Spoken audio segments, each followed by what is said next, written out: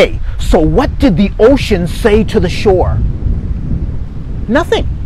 It just waved. I'm on Penkill Island. I'll see you when I get back. Bye bye now.